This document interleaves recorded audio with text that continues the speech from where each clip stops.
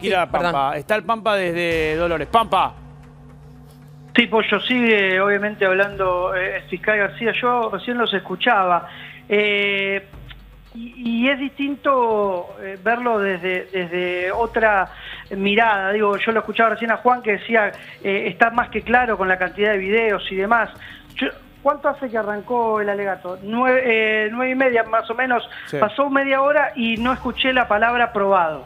Tenemos probado y nunca pasó.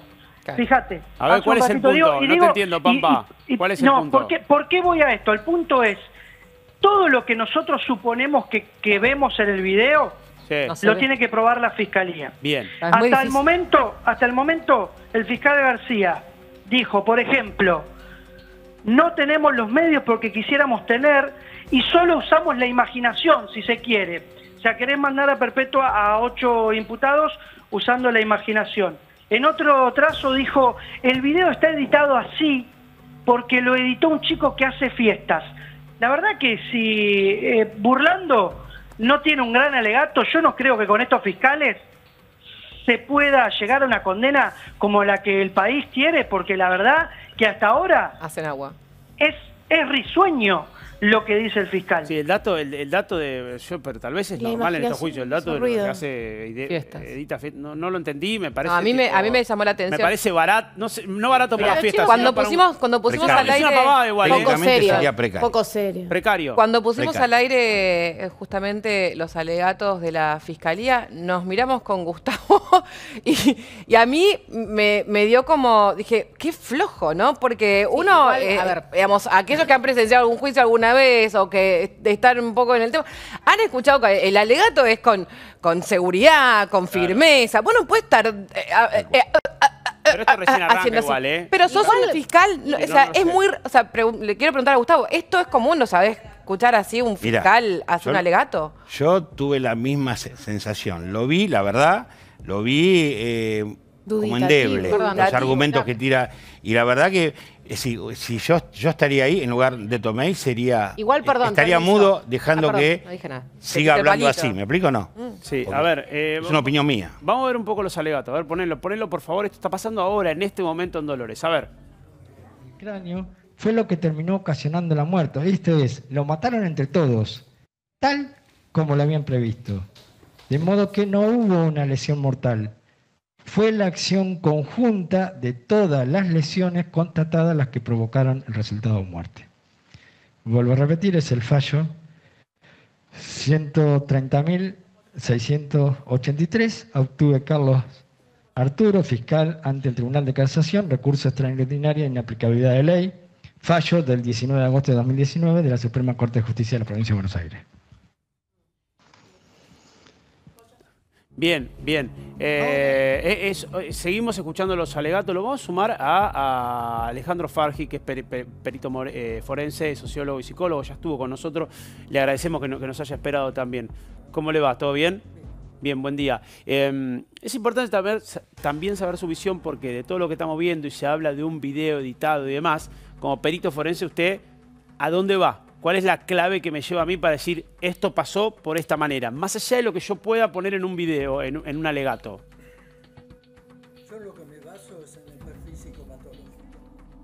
Voy a tomar lo que dijo el doctor, que todos los adolescentes van, se extralimitan y se pelean. Pero no todos matan. ¿Por qué algunos matan y otros no matan? ¿Por qué? Porque los cuadros psicopatológicos son diferentes. En el caso de la neurosis, que todos somos más o menos neuróticos, tenemos sentimiento de culpa y pensamos antes de actuar. Si yo trompeo a un tipo y descargo esa pulsión agresiva que tengo, en un momento dado, aunque sea dos segundos, reflexiono y digo, Paro. paro porque si no, tengo familia, mi hijo me va a ver en cana, eh, ¿qué va a hacer? Piensa en el futuro. ¿Por qué? Porque hay un sentimiento de culpa y el otro no deja de ser un semejante. Un semejante es, es igual a mí. Lo odio, pero es un ser humano. Está bien. En el caso de la psicopatía, o de cuadros psicopáticos como estos chicos, no hay sentimiento de culpa porque no hay conciencia de enfermedad. Y no hay necesidad de castigo. Y no hay proyección de futuro. Lo que hay es una descarga agresiva, sin pensar en las consecuencias que va a haber. Entonces, Espere. La diferencia es, pueden tomar alcohol, pueden consumir algún estupefaciente, pero eso desinhibe, pero el sentimiento de culpa si está, está. De eso uno no puede escapar. En el caso de estos chicos hay un componente que nadie nombró y que es un odio racial. Porque ¿a quién mataron? ¿A un rubio? ¿A un blanquito? Si hubiera estado un rubio blanquito de esa clase social, no sé si... Lo dijo la madre, eso lo dijo la mamá, ¿eh? Lo dijo la mamá todo el tiempo ciño- Fernando eso. Espere, déjeme terminar. Me ciño a lo que dijeron. Es un negrito de mierda, caducó, lo llevamos como trofeo y es evidente que la cabeza de Fernando era una pelota de rugby.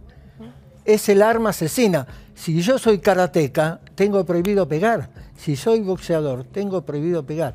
Si soy rugby, tengo prohibido atacar. no, no tiene No, nada. no hay una ley, No, no, no, pero no hay una En ley el boxeo ética. sí, en el boxeo sí, en las artes marciales sí, en el rugby la verdad que no. Debería No. haber, ¿no? Una ley. No, pero, no, hay, pero hay una pulsión agresiva que no todos pueden sublimar, o sea, transformarlo en otra cosa. No, está bien, en no. este caso, en este caso, este, mataron a un negrito y no pararon. No, pero doctor, una Sí, semana antes ve- habían pegado de la misma manera a otro chico en la cabeza, de esto se habló en todo Zárate, Sí. y de, de hecho en un chat que muestran como prueba en el juicio por Fernando, hay un chico que lo muelen a trompadas, eh, y era un chico que también, digo, jugaba al rugby, era de Zárate, era un chico, como decir, blanquito, rubiecito. Pero no importa si jugaba o no al rugby, porque entonces el rugby es malo y no hay que practicarlo. No se trata de eso. Por ahí, Se por ahí sí de- existió esto de que se creen superiores, eso sí, pero no... Porque están educados con valores diferentes. Sí, pero no sé si tiene que ver con el es- color eh, de piel, ¿eh? Bueno, eso es un Tiene que ver con un componente social. Este es, es el pensamiento Sí. de, de Alejandro.